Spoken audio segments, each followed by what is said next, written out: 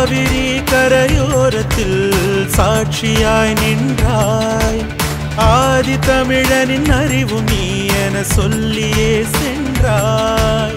வாரணம் ஐந்தாயிரம் சேர்ந்து கட்டிய ஆலயம் விந்தையில் நமையாழ்த்திடும் விஞ்ஞான அதிசயம்.